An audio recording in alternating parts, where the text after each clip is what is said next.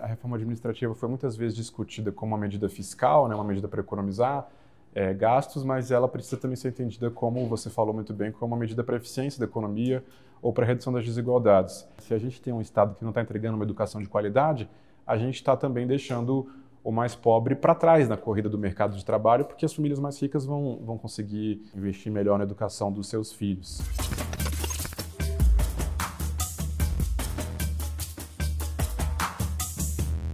Olá a todos e a todas, sejam muito bem-vindos e bem-vindas à conversa de hoje do Canal 1 Brasil, em parceria hoje com a revista Problemas Brasileiros. O Canal 1 Brasil, como você já sabe, é uma iniciativa da FEComércio de São Paulo e para não perder nada, basta se inscrever no nosso canal e também ativar o sininho. No papo de hoje, a gente recebe Pedro Neri, que é economista, doutor em Economia do Meio Ambiente pela Universidade de Brasília e autor de Extremos, um mapa para entender as desigualdades do Brasil. Nossa conversa passa por temas bastante interessantes. Reforma administrativa, reforma tributária, trajetória de combate às desigualdades no Brasil e também futuro, olhando para a agenda verde e para um país que quer ser provedor de soluções. Pedro, quero começar falando do seu livro. Você idealizou um livro durante a pandemia, você é um perfil mais técnico, de origem, de formação, e me chamou muita atenção o fato de que você admite ali que o livro foi originado por uma síndrome do impostor, é essa expressão que você usa. Que eu acho que é algo que acomete boa parte de nós acadêmicos, a percepção de que muitas vezes a gente fala sobre um Brasil que a gente não viu e a gente fala por um Brasil que às vezes a gente desconhece. É, você partiu da premissa de que era preciso ir lá e ver e faz, fez algo que eu diria que é muito próximo do que o Chico César chama de caminho se conhece andando. Conta pra gente que Brasil é esse que você conheceu, que é que você viu e onde você foi. Esse livro, eu brinco que é, ele é um livro sobre desigualdade, mas ele também é um livro de viagens. O que eu brinco é que ele é um livro de turismo de estatísticas, porque literalmente eu, é, para parte dos capítulos, eu peguei um determinado indicador, um, uma planilha mesmo, um, um, ranking, e falei, ah, vou nesse aqui que é o, sei lá, o município com é, menor índice de desenvolvimento ou um município que tem é, o maior percentual de aposentados. E, e, os roteiros saíram assim de, de fato de extremos de planilha que são extremos da, da desigualdade do Brasil e, e vinha de uma, de uma inquietação de, de falar no, no, debate público ou de trabalhar com política social em Brasília sobre é, pessoas e realidades que a gente estuda muito mas que ao fim e ao cabo a gente conhece apenas de longe, né? Eu brinco que é do, do ar condicionado assim, né? Então é, é, é, tinha esse desejo pessoal de conhecer, que acho que foi exacerbado também pela, pela pandemia, pelo isolamento. Então, eu, eu tive oportunidade de ir a lugares que acho que de outra forma eu não teria ido, por exemplo, é, um município muito isolado na Amazônia brasileira, ou um município muito pobre do sertão. E é, eu, eu, acho que, além disso, também eu, eu vi ali uma oportunidade de, de talvez é, conseguir é, é, personagens ou realidades que pudessem ser descritas e, e conversasse melhor com, com, com, os leitores sobre algum tema, né? Porque é, tem temas que são muito importantes para a realidade do país e para a realidade das pessoas, mas que muitas vezes são muito áridos, né? Então, não é da minha formação de economista saber comunicar isso, né? Como é que eu é, conto uma história que seja interessante para as pessoas, que façam ela pensar no assunto, não necessariamente concordar comigo, mas despertar para um tema e e acho que a gente conseguiu no livro isso. Então, é, cada, cada capítulo é um extremo de, de alguma realidade do país, são oito extremos cobrindo as cinco regiões do país, e em cada capítulo que é um extremo mais pobre tem um personagem que a gente acompanha, uma pessoa que existe de verdade, de carne e osso, e que é, ajuda na, a, a, entender um determinado problema. Pode ser a, a, a pobreza na primeira infância, pode ser a falta de oportunidades, pode ser o Bolsa Família ou auxílio emergencial. Então, é, eu, eu, eu, acho que era isso. Então, uma mistura tanto de um desejo pessoal, né, de combater essa síndrome do impostor ou de, de entender melhor ela, mas também uma vontade de, de, de, junto com a editora, de fazer um livro que, que pessoas que não pensam parecido comigo, que não têm a minha formação, pudessem é, é, é, se interessar. Então, eu acho que que isso é o, o, extremos e, e, e, ficou com esse subtítulo que acho que, que, sintetiza um pouco o nosso desejo, né? Um mapa para entender as desigualdades no Brasil. E olhando para essas desigualdades, né, elas são muitas, você fala ali de desigualdades de consumo, desigualdades de renda, deixa muito claro que o Brasil é um país que tributa muito pouco o capital e tributa muito o trabalho, né? os impostos incidem sobretudo do ponto de vista de consumo. Mas se a gente olhar na trajetória do Brasil, há políticas e programas que foram capazes de reduzir algumas dessas desigualdades. Né? Me parece que a Constituição de 88, ao tornar a rede de proteção mais universal do que era anteriormente, que era focada exclusivamente no trabalhador que tinha carteira assinada, foi uma dessas medidas. Eu queria te perguntar sobre copo meio cheio e meio vazio. Então, olhando para o copo meio cheio e olhando para a trajetória de combate às desigualdades, o que, que deu certo? O que, que funcionou? E depois, o contrário, olhando para o copo meio vazio, o que, que ainda falta fazer num país absolutamente desigual como o nosso? Eu acho que essa é a grande pergunta, porque a gente tem que ter um, acho que ter otimismo para olhar para frente, para tentar é, mudar o país que a gente vive, mas a gente precisa também de uma de uma é, resignação, uma indignação com a realidade. Né? Então acho que se, saber celebrar os avanços, mas também conhecer, é, reconhecer o que precisa ser feito, eu, eu acho que é fundamental. Então vamos lá, o que, que a gente pode celebrar de avanços das, dos últimos anos ou das últimas décadas? É, a partir da Constituição, a gente é, melhorou muito em saúde e educação, que foram universalizadas, né? então é, houve uma queda expressiva na mortalidade infantil, a gente ganhou é, no, no, conjunto da população 10 anos a mais de expectativa de vida, é, que é muito, né? imagina se você fosse viver 10 anos a mais do que você viveria, é claro que é a média, mas enfim, é, então a gente ganhou 10 anos de expectativa de vida, a gente reduziu o analfabetismo em 80%, a gente dobrou anos de estudo, até a pandemia a gente tinha reduzido é, pobreza pela metade em termos de taxas, extrema pobreza a um terço do que era. É, nos últimos anos a gente fez outros avanços nesse, nesse sentido, com é, o auxílio emergencial, depois o Auxílio Brasil, que virou novo Bolsa Família, a gente está com taxas de pobreza e taxas de pobreza extrema na mínima histórica. É, nós fizemos nos últimos 10 anos reformas que atualizam a Constituição de 1988, que há um tempo atrás pareceriam muito difíceis, previdência, trabalhista, é, a própria reforma tributária do consumo, então, eu acho que dá para a gente ver esse copo meio cheio. Então, o Brasil é muito melhor do que era é, é, nas últimas décadas. Ele avançou, é, se não mais rápido do que outros países emergentes, ele avançou muito é, entre os países emergentes que são democráticos, porque acho que isso é, é uma outra questão que é interessante, né? É difícil é, combater desigualdade, talvez seja mais complexo fazer isso numa, numa, democracia vibrante como, como a nossa é. Agora, de, de, de copo, uma, um copo meio vazio, tem, tem muita coisa que pode ser feita. Né? Se a gente, por um lado, reduziu muito a desigualdade de consumo né, é, entre famílias pobres e ricas, é, é, a, existe uma convergência no, no, padrão de consumo de eletrodomésticos, geladeira, televisão, máquina de lavar, celular, computador, é, mas ainda existe uma disparidade de renda muito grande. Né? O 1% dos brasileiros mais ricos, os 2 milhões de pessoas mais ricas, concentram no Brasil uma proporção da renda que quase não tem paralelo no mundo. No Brasil a gente tem algumas das pessoas mais ricas do mundo e também algumas das pessoas mais pobres. Né? O Brasil é uma, é uma síntese da, do, do, mundo nesse sentido. Então, a própria reforma tributária que foi promulgada recentemente prevê que o governo vai enviar uma proposta de reforma da tributação da renda. Então, tem algo aí para ser feito. Idealmente, isso tem que ser feito com, com essa agenda de redução da tributação do trabalho. Acho que isso é algo que é, espero que o livro é, ajude a, a a, a, amadurecer o entendimento, talvez as pessoas não tenham tanta noção de quanto que, a renda, quanto que o trabalho é tributado no Brasil. Todos os países, quase todos os países tributam salários antes deles serem pagos, mas o Brasil faz isso demais. E, e, acho que muitas vezes o trabalhador não tem essa visão de que existe um grande desconto sobre o que ele produz antes dele receber a sua, a sua parcela.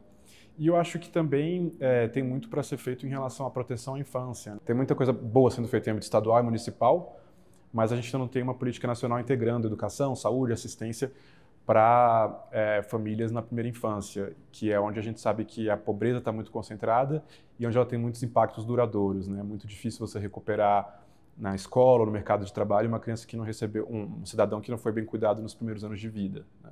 É, então eu acho que o copo meio vazio é esse, uma desigualdade que ainda persiste muito, taxas de pobreza, extrema pobreza, que ainda são maiores do que países do Cone Sul, por exemplo, Argentina, Chile, Uruguai.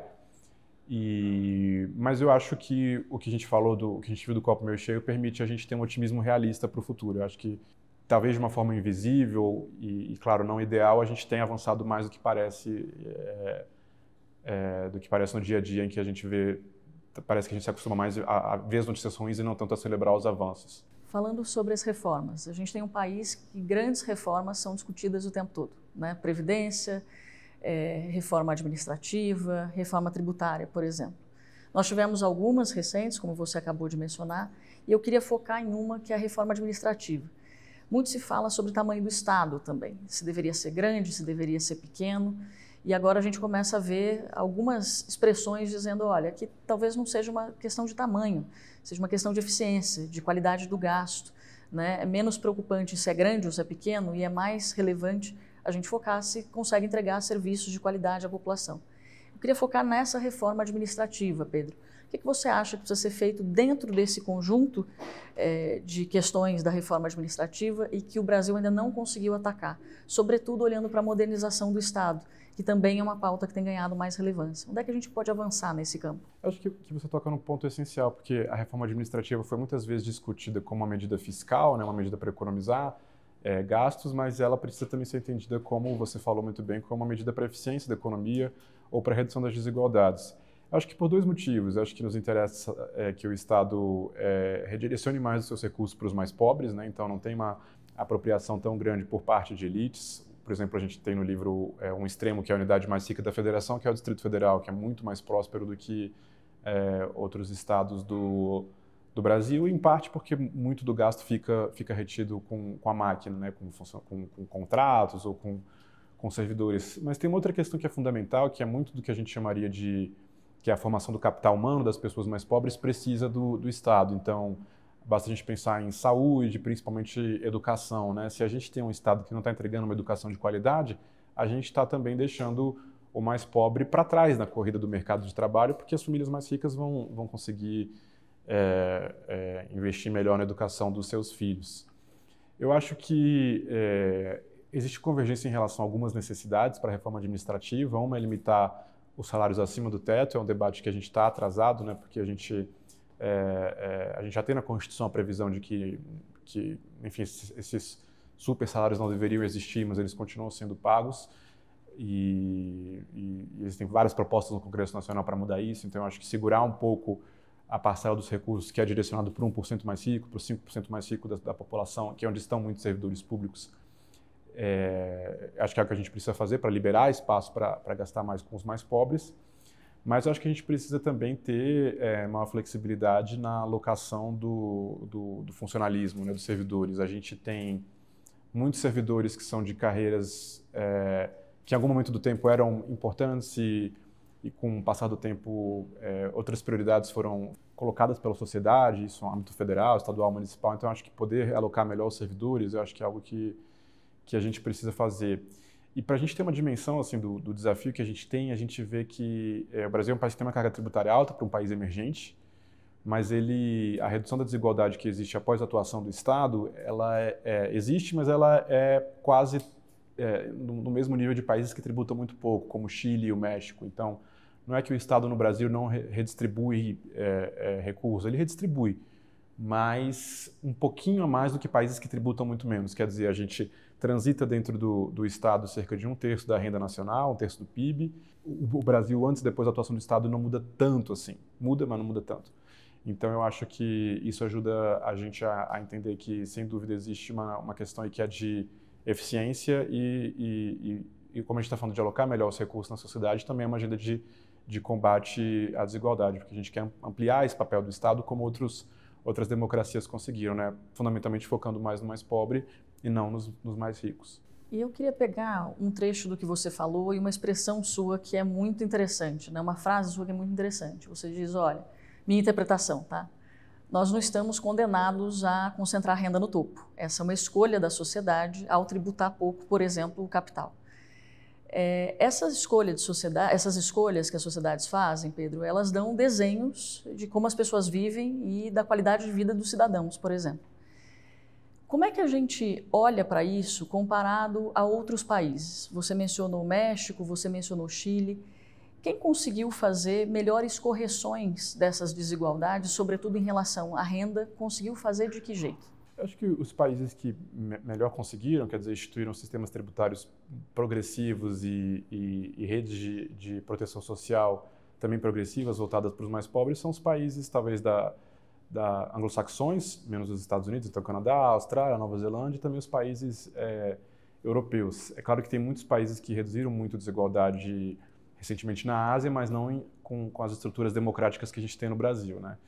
Então, eu acho que. Tem, tem, dois exemplos que eu, que eu acho muito interessantes que são de lugares diferentes do mundo, mas que eu acho que, que fornecem uma, uma luz para a gente, que é a Dinamarca e a Nova Zelândia. Nesses dois países, você não tem tributação sobre a folha de salários, quer dizer, o trabalhador produz, o empregador paga o salário dele e não vai ter é, incidência de nenhum tributo. No Brasil, a gente tem incidência de mais de 10 tributos, não ao mesmo tempo, mas enfim, mais de 10 tributos incidem sobre a folha de salários.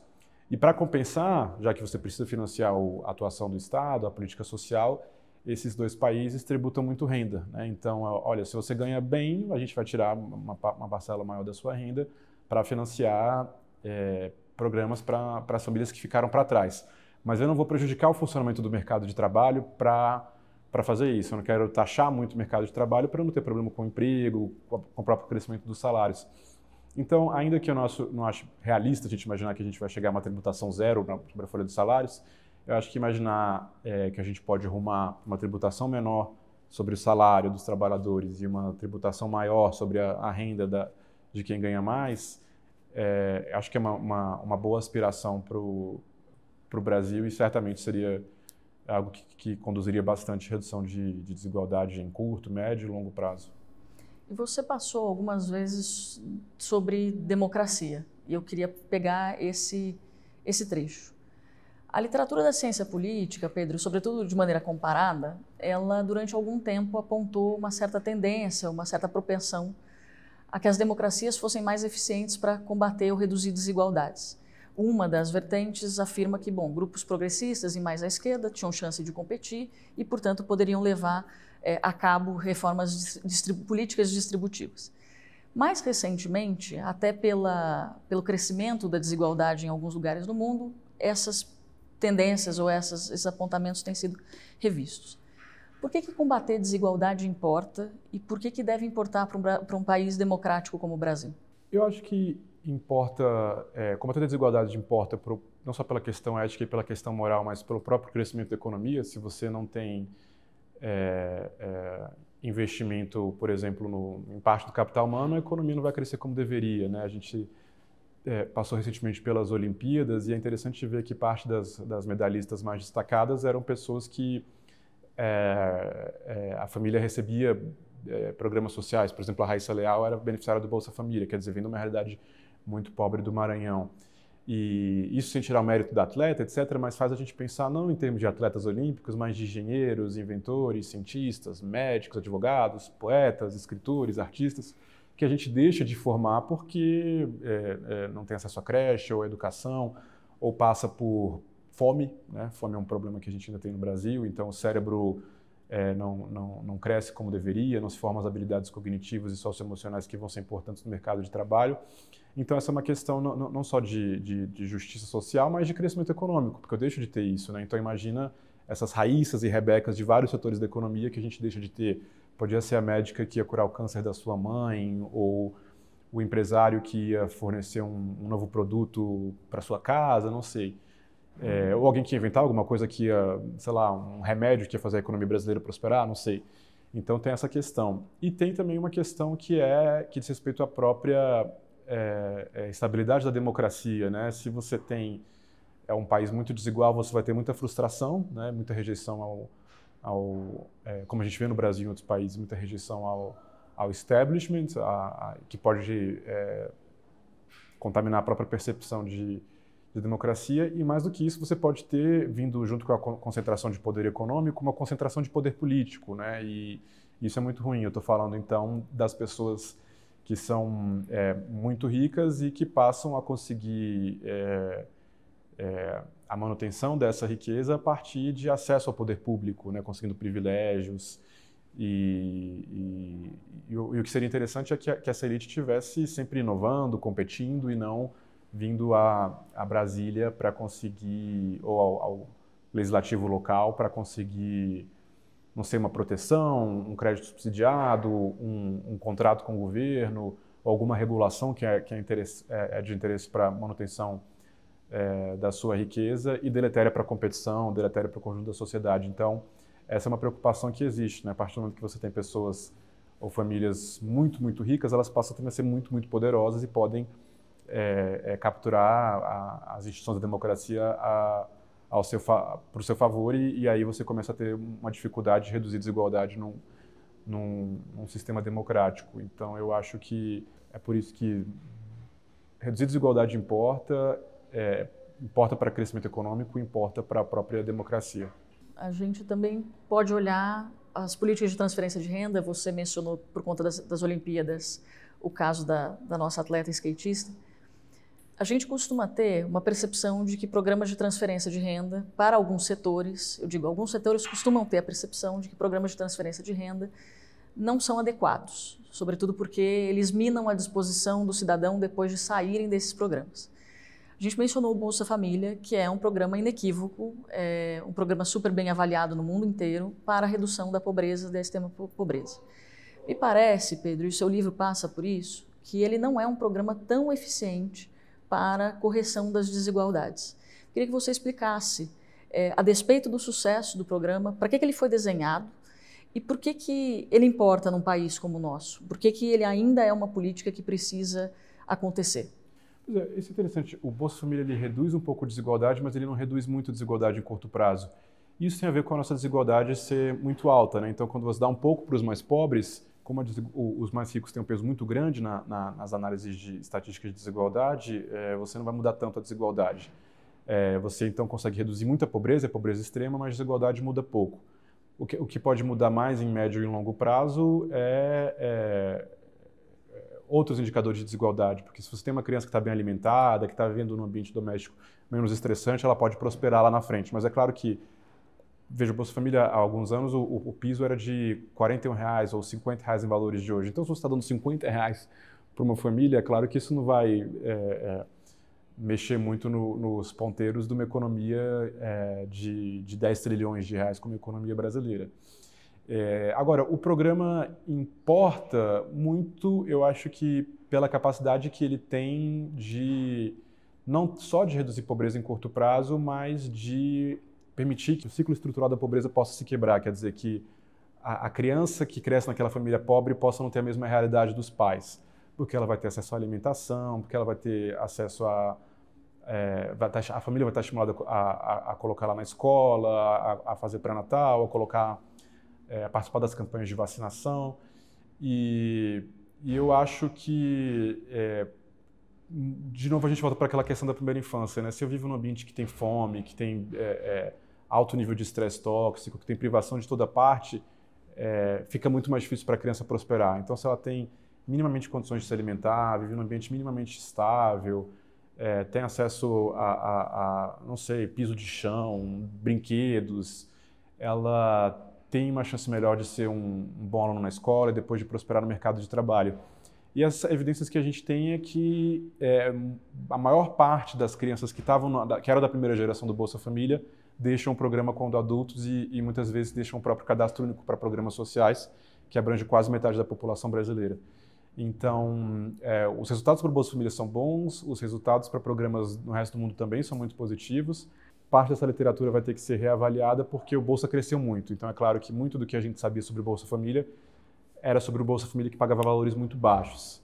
Então esse Bolsa Família que pagava valores muito baixos não influenciava muito, é, ou via de regra não influenciava a disposição dos pais de trabalharem, é, não influenciava a disposição da família de ter mais filhos, mas a partir do momento que eu pago valores maiores, pode ser que esses efeitos é, sejam menores. Então pode ser que agora, com o novo Bolsa Família pagando valores mais substantivos, você tenha uma parcela maior de beneficiários que opta por não participar do mercado de trabalho, mas acho que vale sempre a pena a gente voltar para o número, né? O Bolsa Família cresceu muito, mas ele é um benefício ainda de 20 reais por dia para a família, né? Em, em, é, via de regra. Então, assim, a gente tem que olhar com carinho para tentar entender por que, que alguém deixaria de trabalhar tendo, é, sei lá, 5 reais ou 10 reais por dia para cada pessoa da sua família. É, que empregos que são disponíveis para essa pessoa, que outra política pública eu posso fazer para ajudar ela a transicionar para o mercado de trabalho, o desenho do programa está adequado, porque é, alguns beneficiários de fato não querem, é, às vezes, pegar um emprego formal com medo de depois perder o emprego e não conseguir voltar no bolsa, porque o desenho do programa não está não tá, é, é, é certinho, não está andando bem. Então, eu acho que vamos de novo olhar. Aumentou muito bolsa, mas ainda é um benefício básico de 600 reais por família. É, então, assim, eu não deixaria de trabalhar por 600 reais, porque eu estou achando que meu compatriota deixaria é, como regra. Né? Então, acho que via de regra, resumindo, transferências de renda no, no, mundo não tem afetado disposição a trabalhar, não tem afetado disposição a ter mais filhos, tem tido efeitos expressivos em nutrição, é, desenvolvimento infantil, é, violência doméstica, acesso à educação. E, e o próprio Bolsa Família é um programa é, da esquerda à direita na academia, é, da, na, na, na, política e na academia, muito bem avaliado. A gente olha com calma agora que ele cresceu, mas eu acho que ele continua sendo muito importante para o próprio crescimento do país. De novo, Raíssa Leal era beneficiária do, do Bolsa Família, é, da mesma forma que a gente vê nela um potencial brilhante no esporte, tem um monte de outras meninas que que cresceram é, em, em, realidades muito duras e que podem é, contribuir muito para a economia nacional, tem o, o talento e, e, a capacidade de dedicação que a Raíssa tem em outras áreas e que, e que, e que, vão, a partir de agora, talvez participar da economia do país de uma forma que não participariam se não tivesse tido acesso àqueles 50 ou 100 reais que tinham há, há, há, alguns anos atrás. Você passou algumas vezes pela importância da infância e da primeira infância, né? os seis primeiros anos de vida de qualquer indivíduo. É, você menciona no livro que se trata de uma corrida, né? uma corrida em direção ao futuro. Como é que a gente está nessa corrida, olhando sobretudo para a infância e para essa perspectiva de redução de desigualdade no longo prazo que começa na infância? A gente reduziu bem a pobreza infantil no Brasil nos últimos anos, é, é, nas últimas décadas, mas também nos últimos anos, com, agora com, com a ampliação do Bolsa Família. A gente tem o benefício de primeira infância, mas ainda me preocupa muito a gente não ter uma cobertura mais ampla e mais universal. Quer dizer, é, existem famílias que não são que são pobres, mas não são pobres o suficiente para estar no Bolsa Família. Vamos lembrar que a linha de acesso ao programa ainda é de cerca de 220 reais per capita. Então, se eu imagino um, um trabalhador que ganha um salário mínimo, a, uma trabalhadora vai que ganha um salário mínimo e o marido fica em casa cuidando das crianças, é, essa família tem uma renda per capita de cerca de 300 reais e não tem direito ao Bolsa Família porque ela não é pobre o suficiente, né? mas é uma família que está vulnerável. Agora, para além da transferência de renda, a gente tem uma dificuldade de cumprir as metas que já existiam do Plano Nacional de Educação para creche. A gente tem uma cobertura de creche de cerca de 40% das crianças, abaixo da meta de 50%, mas fundamentalmente a gente tem uma cobertura muito díspare. Creche no Brasil é coisa para quem é mais rico, não para quem é mais pobre. Os mais pobres têm pouco acesso à creche. Isso afeta o desenvolvimento da criança e afeta a própria possibilidade de geração de renda no domicílio, porque se você não tem com quem deixar a criança, você vai ficar, vai reduzir a sua participação no mercado de trabalho parcial ou totalmente. E, mas é o que a gente vai bem é para a escola. O Brasil obrigou recentemente é, é, a pré-escola, outros países não têm isso, então a gente tem uma cobertura de quase 100% na pré-escola, ou de mais de 90% em boa parte das regiões. Isso vai bem. A gente tem agora o benefício primeira infância para quem está no Bolsa Família, então é uma prioridade que antes não existia no programa.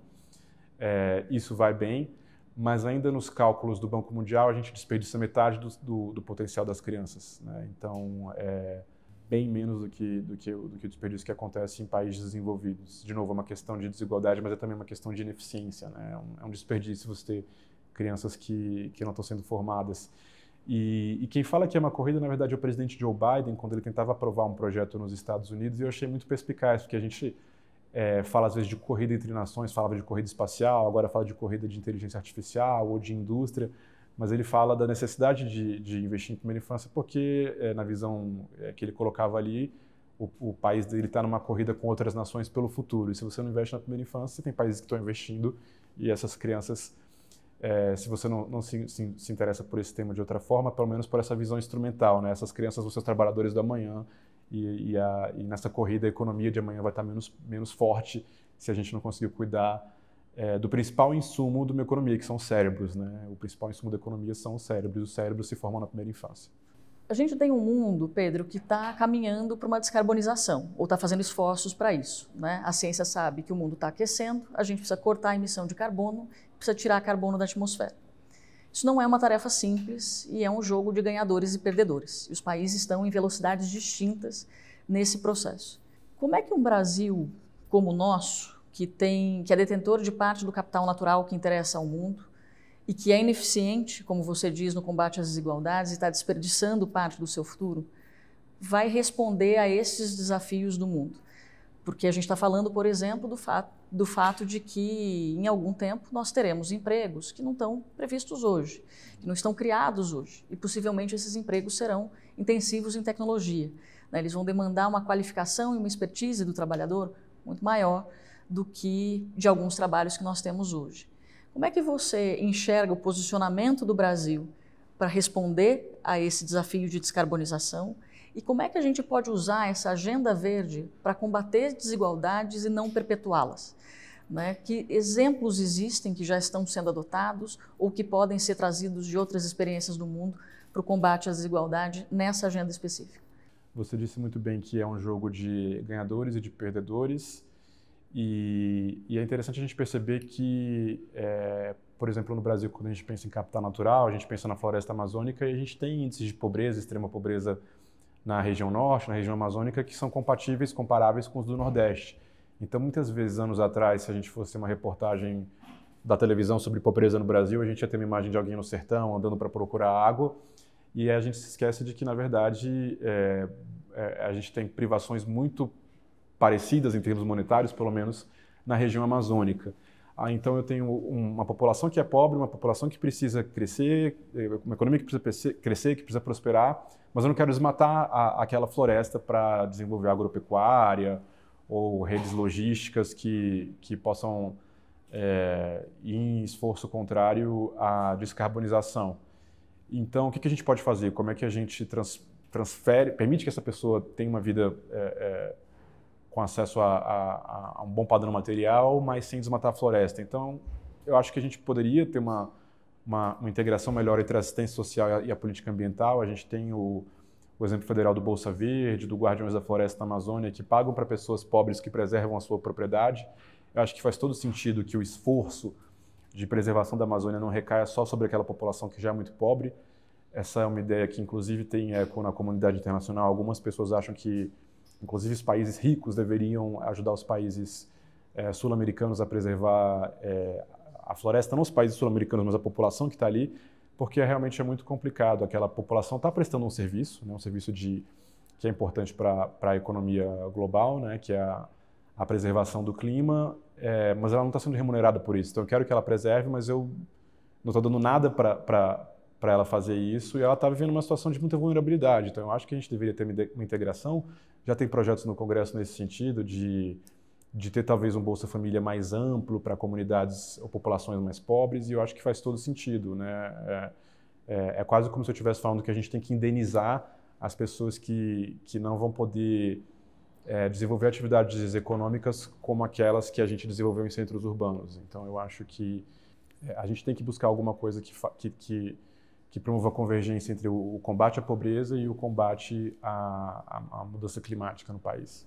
E tem alguma experiência internacional exitosa que você se lembre? É, Eu acho que ainda muito em pequena escala, alguma coisa de, de florestas no Congo, na Indonésia, mas eu acho que em larga escala o que é mais reconhecido é o antigo Bolsa Floresta, que agora chama Guardiões da Floresta, do governo do estado do Amazonas, e o Bolsa Verde, que voltou a partir de 2023, estava interrompido nos últimos anos mas ainda eu acho que é algo que precisa ser escalado. Para mim faz todo sentido que a gente tivesse um Bolsa Família maior, ou critérios mais generosos para entrar no Bolsa Família, ou algum outro tipo de programa é, em, em, comunidades da Amazônia, por exemplo. Porque essa é uma provocação que eu faço, só para concluir.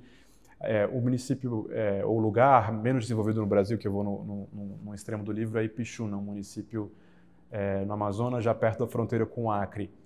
E ele é pouco desenvolvido para para padrões estatísticos que a gente tem sobre educação, saúde e renda.